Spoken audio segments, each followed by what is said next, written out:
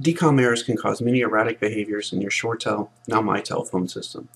Symptoms will include auto attendance not playing, Director web interface becoming inaccessible, client software partially working, and a host of other features. Just because there are DCOM errors in your event log does not necessarily mean they're related to your ShoreTel slash Mitel services. In this video, we're going to manually set the DCOM permissions as laid out in the maintenance guide. This does manually what the SP1 repair command line utility does.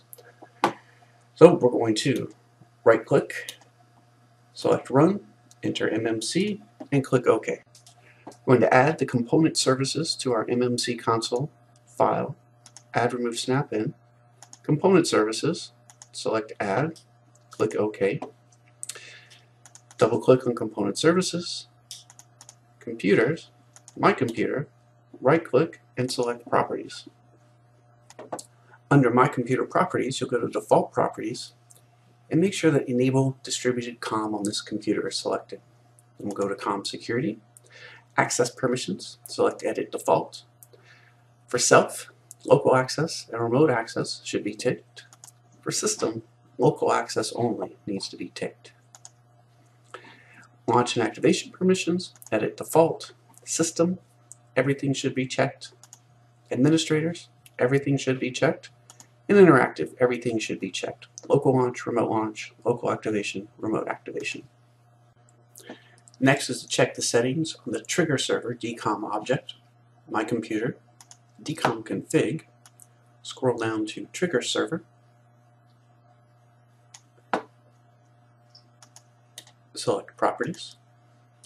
Under General, Authentication Level, Default, Location, Run Application on this computer, Security, Launch and Activation Permissions, System, everything is checked, Administrators, everything is checked, Anonymous Login, Local Launch and Remote Launch are not selected, Local Activation and Remote Activation are. Select OK. Configuration permissions, edit,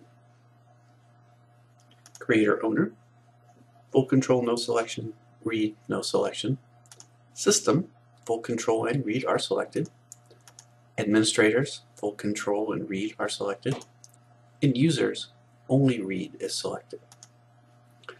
The identity tab, the system account services should be selected.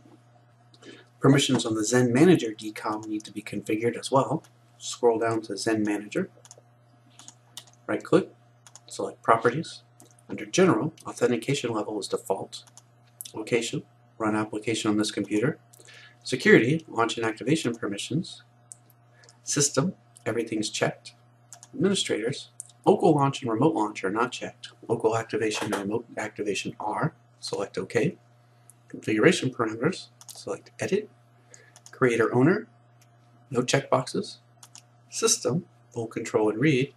Administrators, full control and read. Users, read only. Click OK. Go to Identity. System account services only should be checked and select OK. This has manually set the permissions for DCOM inside of a ShoreTel Mitel Connect Server 2012 R2. Thank you.